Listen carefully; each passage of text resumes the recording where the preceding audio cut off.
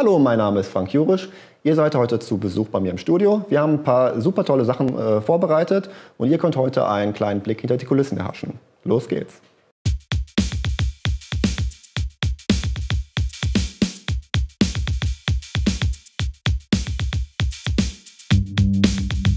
Also mein Name ist Frank Jurisch. Ähm, ich bin hier aus Oberhausen und äh, 40 Jahre mittlerweile alt. Ähm, fotografiere seit ungefähr, ich sag mal, ähm, zehn Jahren ungefähr, seit der Geburt meines Sohnes. Obwohl ich eigentlich vom Typ her eher ein zurückhaltender Mensch bin und nicht so offen auf Leute direkt zustürme, ne, äh, war doch dann halt die Faszination, mit Menschen zu arbeiten, einfach am größten. So, und dann ist es einfach also gekommen, dass ich in die Fotografie, in den Fotografiebereich so reingerutscht bin. Und dann äh, halt von Jahr zu Jahr halt immer professioneller. Ja, und mittlerweile mache ich das äh, professionell halt.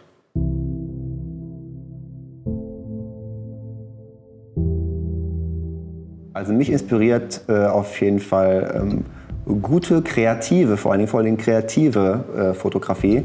Ähm, es gibt unheimlich viele, äh, unheimlich viel und extrem gutes äh, Fotomaterial im Fashion-Bereich, wenn man ein bisschen sucht. Also komplett weg von den Idealstandard, die man vielleicht hier aus Katalogen kennt. Äh, wirklich extrem kreative Fotografie, ähm, wo ich nicht verstehe, wo kriegen die Leute diese Ideen her. Ne? Also äh, so Sachen inspirieren mich dann total. Ähm, mein, mein Fotostil ist auch so ein bisschen geprägt von dem Fotografen Rankin. Äh, den habe ich am Anfang stark verfolgt, wie er arbeitet, welche Bilder er, er macht und wie er vielleicht auch irgendwie äh, ähm, Ausdrücke der Person irgendwie ein Bild festhält. Und das das hat mich inspiriert und da habe ich versucht, auch so ein bisschen immer so ein bisschen nachzuahmen. Und das ist, glaube ich, auch ein großer Einfluss, den meine Fotografie gehabt hat. Und das sieht man auch, glaube ich, in meinen Bildern auch so ein bisschen auch wieder. Wenn du mit People-Fotografie äh, bist, sollte man sich vielleicht auch auf einen speziellen Bereich wie zum Beispiel äh, Studio und Lichtsprache und Make-up und sowas konzentrieren und da wirklich äh, die ganze Energie reinsetzen. Ne? Also versuche in dem Bereich äh, immer viel zu machen, immer mehr zu machen und dann wird man automatisch immer besser. Natürlich spielt dann auch so ein bisschen ähm, vielleicht das Talent auch noch so ein bisschen äh, mit rein oder ähm, was für einen persönlichen Geschmack du überhaupt hast. Ne? Jeder hat einen, einen, unterschiedlichen Geschmack für seine eigenen Werke. Ne? Ähm, da ist das eine vielleicht mehr massenkompatibel, das andere ist eher ähm, sehr speziell. Ne? Äh, aber wichtig finde ich zum Beispiel, sich wirklich auf einen Bereich wirklich zu konzentrieren und dabei zu bleiben und das auszuarbeiten. Ne?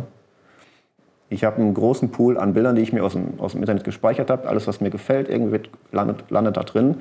Ähm, es muss noch nicht mal, nicht mal äh, ein spezielles Bild sein, sondern oftmals ist es einfach nur irgendwie, da war mal irgendwas, irgendein Gefühl, irgendwie so eine, ähm, eine Bildidee, die, die da irgendwo mal, die ich irgendwann mal gesehen habe. Dann gucke ich dann in diesen Pool rein und dann sehe ich, ah, das ist eigentlich ganz cool, das könnte man mit, mit dem anderen kombinieren. Ne? Und dann setzt sich das, äh, diese verschiedenen Ideen nachher zu einem Puzzle zusammen. Und äh, das dient bei mir dann immer als, als grobes Grundgerüst. Ne? Ich habe dann auch so ein paar Make-up-Sachen, die ich dann noch raussuche und ähm, dann mit in dieses Moodboard reinpacke. Äh, ein paar Bilder teilweise auch zur Lichtsetzung, wo mir einfach diese, äh, die Lichtstimmung gefällt. Ne? Und äh, wo ich dann auch schon abschätzen kann anhand des, des Bildes, wie ist es eigentlich aufgebaut, äh, das Licht. Ne? Weil mit der Zeit entwickelst du ein Gefühl für die einzelnen äh, Lichtformen, Lichtquellen, in welchen Abständen. Und dann kannst du anhand dieser Bilder, die man irgendwo im Internet sieht, ungefähr abschätzen, da hat eine große Softbox gestanden, da muss irgendwie was Hartes an Licht gewesen sein. Und dann kann man aus diesen Bildern, äh, wenn man es versteht, wie es gemacht wird, ähm, solche Sachen dann halt aufbauen. Und dann die, pack, die Sachen packe ich dann alles zusammen in ein Moodboard. Die kriegen dann äh, Make-up-Artist und Modell, damit die auch direkt wissen, woran sie sind. Weil im Endeffekt ist es so, dass es äh, grundsätzlich immer was anderes bei rauskommt, als man ursprünglich geplant hat. Ne?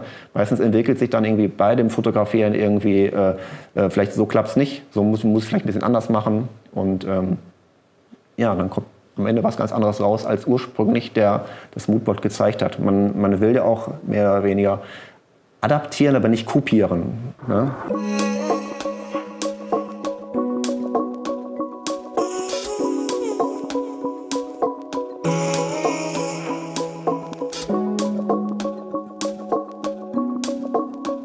Ja, also ich muss sagen, ich bin äh, Technik-Nerd und äh, wenn so ein neues Produkt auf den Markt kommt, irgendwie, mit dem man noch nie gearbeitet hat, äh, ist es immer interessanter, als irgendwie mit, mit Blitzen zu arbeiten, mit denen man schon seit Jahren irgendwie tätig war. Äh, Lampen hauen 33.000 Lumen raus. Das ist einfach nur faszinierend, dass da so viel Lichtleistung aus so einer kleinen Idee rauskommt.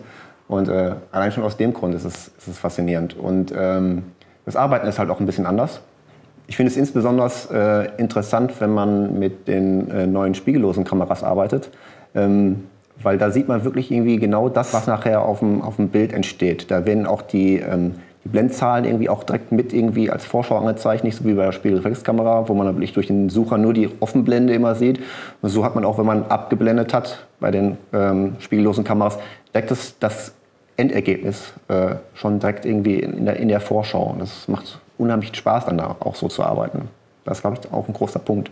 Der Spaßfaktor ist einfach unheimlich hoch mit diesen LED-Lichtern. Ich denke, die Lichtleistung ist äh, bei LED-Strahlen nicht, nicht das Problem, nicht der, nicht der Faktor.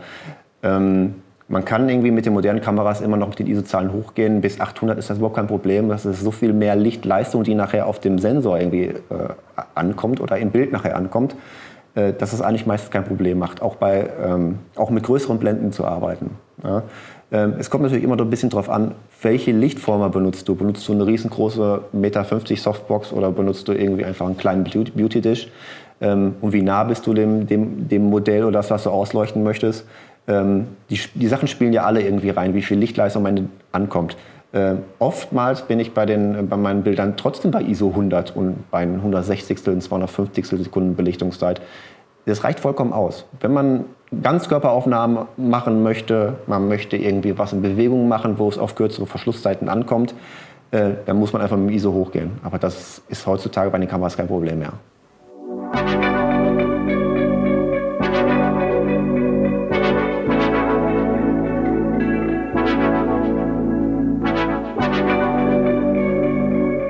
Ich glaube, für das äh, Arbeiten mit dem Modell gibt es keinen wirklichen Leitfaden. Wenn ich zum Beispiel wie in meiner Fotografie sehr aktiv, körperlich aktiv bin, viele Blickwinkel suche, nah rangehe, wieder weg und äh, ich merke dann, dass das Modell das reflektiert. Das geht aus sich raus, es gibt selber auch Gas. Für mich ist es ein wichtiger Punkt, irgendwie bei einem Shooting zu erkennen, äh, passt das miteinander, ähm, was muss ich machen, auf was muss ich eingehen, damit das von der, von der Sprache her stimmt. Manchmal merkt man auch wirklich, man ist auf einer Welle, man ist irgendwie in einem Fluss von den Bewegungen, ne, dann passt es super.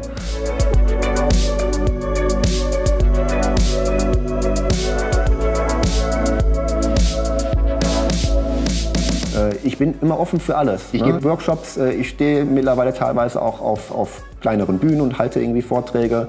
Ähm, alles Sachen, die habe ich mich früher nie drin gesehen. Ne? Aber man wächst so langsam in diese Situation rein, man kann damit umgehen und äh, ich glaube, das wird mich einfach immer weiter und weiter treiben. Und ich sehe immer rückblickend, was in einem Jahr bei mir selber an Bildsprache und an das, was Ergebnisse sind nachher, ähm, was da rausgekommen ist und was für eine Steigerung immer noch möglich ist. Und so bin ich eigentlich äh, guter Hoffnung, dass ich immer noch weiter mich entwickeln kann und einen draufsetzen kann.